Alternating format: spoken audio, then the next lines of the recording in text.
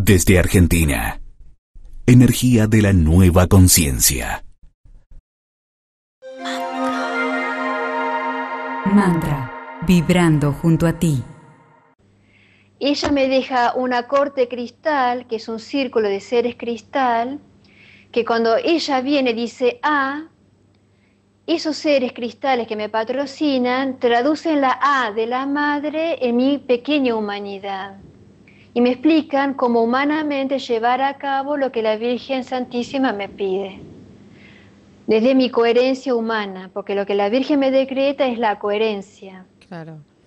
Eh, Patricia, eh, Patricia, y digamos, esta experiencia, vos hablás de sanación, digamos, te otorgó a vos, vos recibís los mensajes, entendí que lo ves y que estás escuchando, las dos cosas te pasan, ¿no? Los visualizás y los escuchás, pero eh, te, te, otorga a vos dones especiales, digamos, dones de la sanación, eh, eh, digamos, ¿qué, qué, qué metamorfosis, si se puede llamar así, empezaste a experimentar vos a partir de todos estos contactos?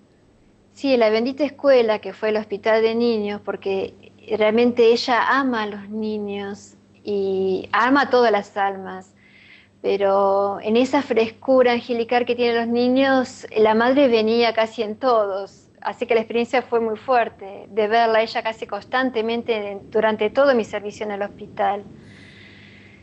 Porque las almas, las, almas que están en cuerpos más grandes son más duras, entonces a veces no siempre viene la Virgen. En los niños era instantánea la presencia angelical o de la madre. En esa bendita escuela donde yo hago mi conversión y veo el sufrimiento, ella me ministra su don de sanidad. Cuando la Virgen me saca del hospital, porque ahí la iglesia eh, siento que me empieza a perseguir porque no les, como que no les agradaba la imposición de manos, nunca se me acercó a la iglesia. Yo tuve que ir a, presentarme porque la Virgen me lo pide y lo hice.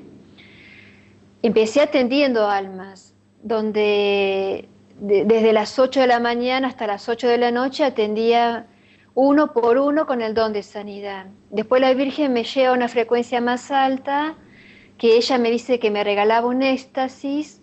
Cuando termino de dictarme los dos años de mensajes, se me aparece en mi habitación con el rostro de Reina de la Paz. Me dice que ella habló y que no va a hablar más. Jamás me dictó otro mensaje. No sé cuántos años van, pero no me dictó más, desde 2008 hasta hoy. Y que me regalaba un éxtasis para la conversión de las almas, que es el éxtasis de la cruz y el, y el éxtasis blanco, donde por la purgación y el vaciamiento, la evacuación que recibo de la Virgen y de Jesús, que me viene como Cristo Rey, tengo una transustanciación de la Madre, donde ella me entra, no la veo hacia afuera de mí, ella se me adviene dentro de mí y me regala sus ojos. Entonces me dice que el signo que ella da es que en vez de las almas tocar una estatua de yeso, las almas me iban a tocar a mí y iban a sentir en un instante que ella estaba presente, que ella tocaba nuestra pequeña humanidad, que por esta cosa que soy yo, ella iba a tocar nuestra tierra un instante para la bendición y para llamar a los corazones. Wow. Patricia, em, ¿hay que tener fe para que este, esta sanación se dé a través tuyo? ¿Hay que creer en la, en la Virgen? ¿Hay que creer en vos? Porque eh, en este momento hay muchas personas que están escuchando, muchas otras que te están viendo y, todos automáticamente seguramente estamos pensando en esas personas que queremos que no están bien, personas que, bueno, dicho sea de paso, acá también un oyente nos acercó el nombre de un niño que no está bien. Entonces yo pregunto, eh, ¿hay que creer en, en, qué hay que creer para que este, este, podríamos decir milagro, esta bendición llegue a nosotros? El creer es una puerta que abrimos cuando no creemos la cerramos. Es, Cristo está en, cuando Él asciende dejó un portal abierto que es su luz dorada. Él siempre está a la puerta. Cuando no tenemos fe la cerramos y nos olvidamos de que el cielo nos ama en un tiempo perpetuo. El cielo nos contempla desde, desde lo alto y desde, desde el cielo mismo día y noche. Nosotros nos olvidamos de ellos. Ellos nunca se olvidan de nosotros. Eso fue lo que aprendí, la infinita misericordia que el cielo nos tiene. Entonces, el creer abre la puerta a que esa luz entre en la vida de, uno, que esa luz entre en la familia, en la casa. Lo que la Virgen viene a sanar es la familia, la Virgen viene a sanar y a levantar el matrimonio que está caído en este tiempo. Porque un matrimonio sano trae hijos sanos, trae almas celestes.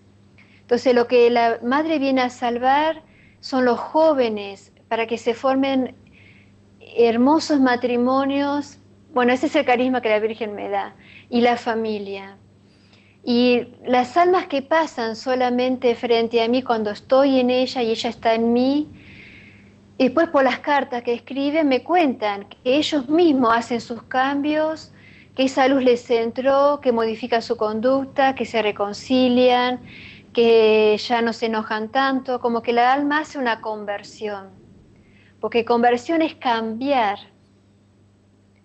Tenemos que cambiar en sí somos celestes, tenemos que recordar lo que somos, pero tenemos que volver a elevar la mirada a esa herencia que somos, somos nosotros mismos y que no somos un pedazo de carne con necesidades.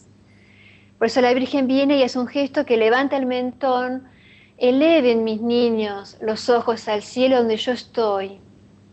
Y contemplándola a ella, ella nos da la gracia para elevar nuestra vida desde nuestra cotidianidad, no nos pide nada extraordinario, sino que seamos buenos en nuestra vida cotidiana, con nuestros niños, con nuestros quehaceres, en nuestros trabajos, santificarnos. Santificarse es integrarnos.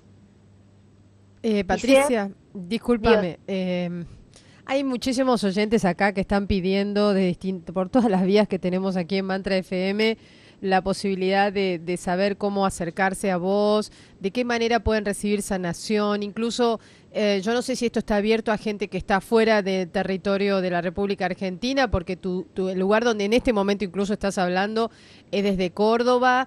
Eh, hagamos un pequeño corte y quiero que nos digas de qué manera podemos recibir esta bendición, esta energía, ya sea acercándonos directamente a Córdoba o a la distancia. ¿Te parece? Vamos a una pequeña pausa y ya volvemos.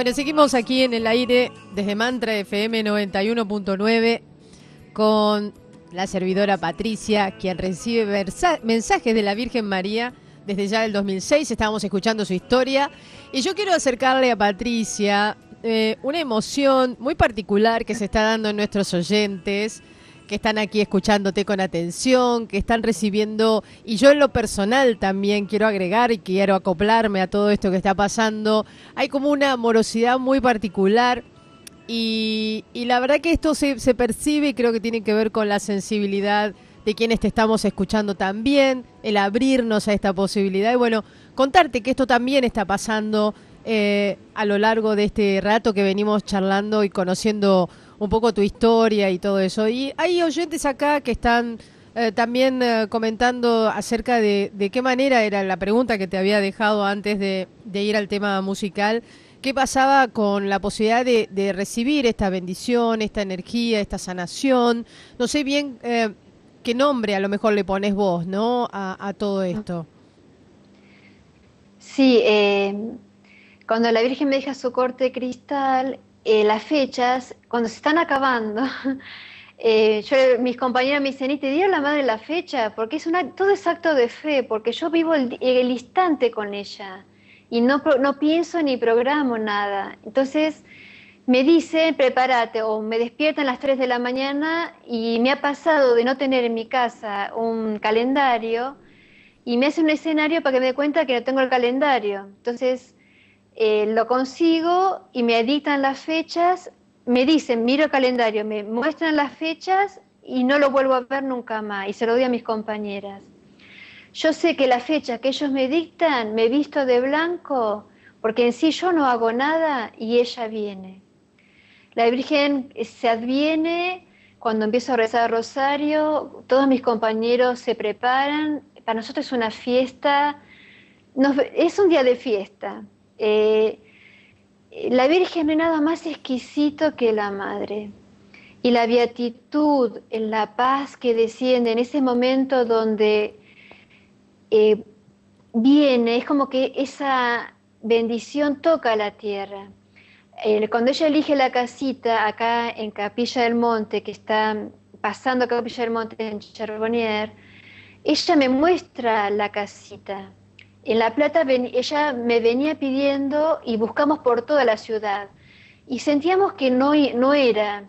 Y cuando viajo acá y vuelvo a La Plata, se me aparece en la cocina como Virgen de Lourdes, me dice, yo quiero esa casa.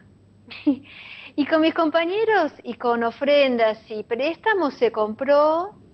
Después la Virgen me trae acá medio a, a los sopetón porque fue muy pronto, humanamente después tuve que digerir y procesar todo este, este cambio humano y quedé acá, en el medio del monte, bendita, que es Capilla del Monte.